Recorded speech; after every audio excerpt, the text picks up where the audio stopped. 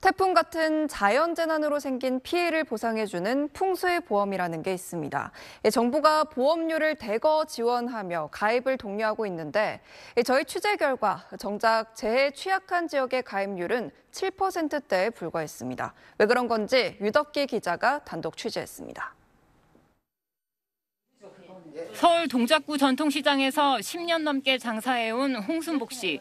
지난해 8월 폭우로 큰 침수 피해를 입은 뒤 풍수해 보험에 가입했습니다.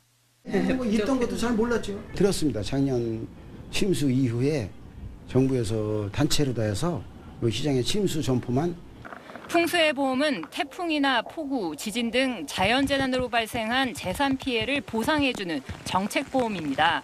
보험료의 70% 이상을 국가와 지방자치단체가 부담하는데 취약계층에 대해선 100% 지원합니다. 80제곱미터짜리 단독주택의 경우 개인이 연간 보험료 15,000원만 부담하면 주택이 완전히 파괴될 경우 7,200만 원까지 보상받을 수 있습니다. 주력 가입 대상은 주택과 소상공인의 상가, 공장 건물 등입니다. 2030년까지 가입률 30% 이상이 정부 목표인데 주택 가입률은 28.9%, 소상공인 가입률은 40%를 넘겼습니다.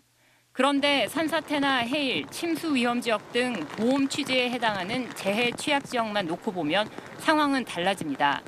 SBS 취재 결과 1분기 기준 재해 취약 지역 가입률은 주택은 7%, 소상공인 7.8%에 그칩니다.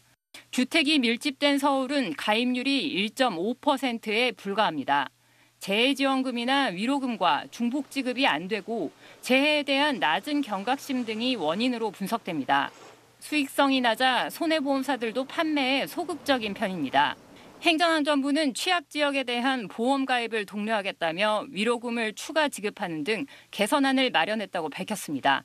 SBS 유덕기입니다.